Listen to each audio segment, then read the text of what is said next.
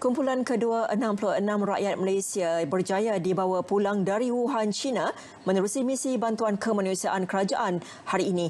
Pesawat Air Asia AK-8265 selamat mendarat di lapangan terbang antarabangsa Kuala Lumpur KLIA pukul 6.45 pagi tadi. Mereka yang dibawa pulang membabitkan 46 warga negara dan 20 tanggungan mereka bukan warga negara. Laporan Mohan Cinasami.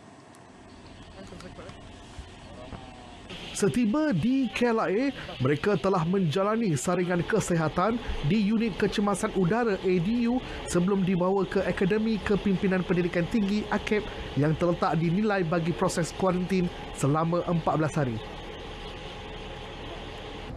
Seperti yang anda dapat lihat uh, di uh, belakang saya, mereka merupakan antara uh, penumpang pesawat yang terlibat dalam misi membawa pulang rakyat Malaysia daripada Wuhan iaitu misi kedua yang telah pun berjaya pada hari ini. Selain itu juga, mereka ini akan dikuarantin selama 14 hari bagi memastikan mereka benar-benar bebas daripada sebarang simptom ataupun gejala COVID-19.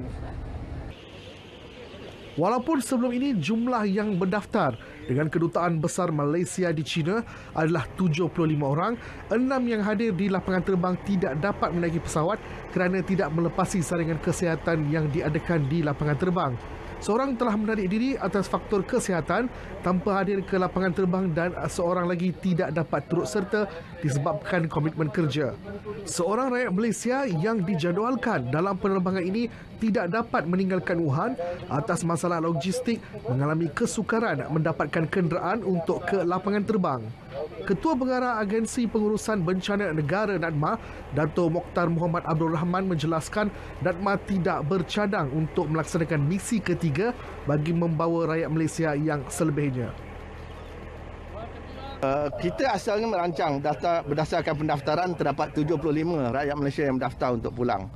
Tetapi pagi ini malam tadi bila kapal terbang arrive di Wuhan dimaklumkan bahawa terdapat sembilan Eh, sembilan uh, rakyat Malaysia yang mulanya berdaftar tetapi tidak dapat kembali kerana ada seorang yang ada masalah kesihatan, ada yang membuat keputusan di saat akhir tidak berhasrat untuk pulang atas sebab-sebab tertentu. Jadi kita setakat ini kita tidak merancang untuk melaksanakan misi yang ketiga.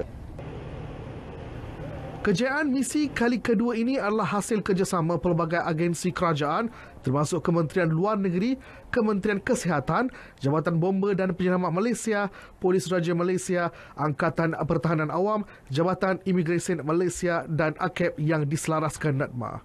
Mohan Cinasami, RTM.